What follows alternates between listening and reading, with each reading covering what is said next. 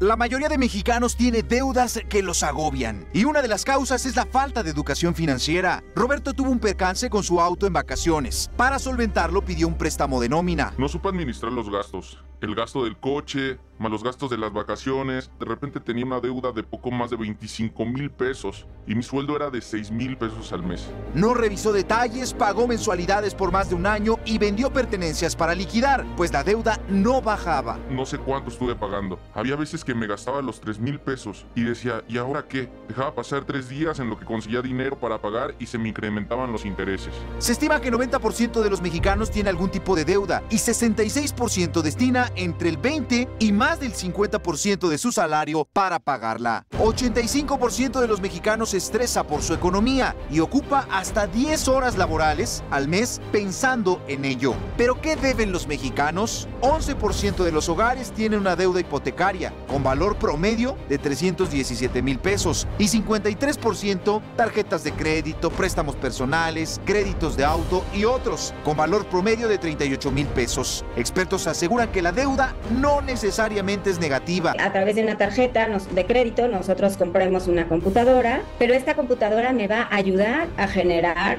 ingresos adicionales. Importante, para adquirir una deuda es necesario revisar el ingreso mensual, restar los gastos diarios o corrientes y el sobrante es la cantidad máxima con la que nos podríamos endeudar, pero la mayoría no lo revisa. Son tomas de decisión motivados en su mayoría por decisiones emocionales. Tú en realidad ibas al centro comercial a pagar la luz, ¿no? Y de pronto, gracias a las ofertas, sales con una bolsa, con unos eh, adornos para tu casa. La educación financiera consiste en adquirir conocimientos para tomar mejores decisiones en gastos, créditos, inversiones y ahorros. No se ha logrado penetrar lo suficiente, desventajosamente respecto a otros países, eh, desde el nivel primaria, se da formalmente las clases o la materia de educación financiera. Mega Noticias, Abel Martínez.